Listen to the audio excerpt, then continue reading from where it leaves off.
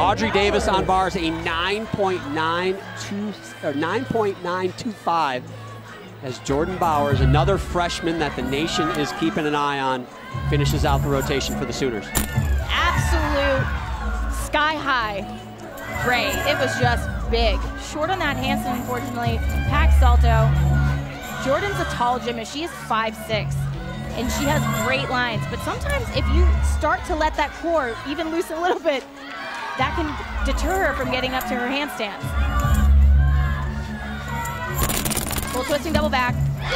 Sticks the landing. Had small, very minimal form breaks throughout the routine, but that was a very well-composed routine with oh. very few deductions. Oklahoma needs a 9.925 to take the lead here. I think it's going to be that handstand you mentioned was a little short. What do the judges do with it?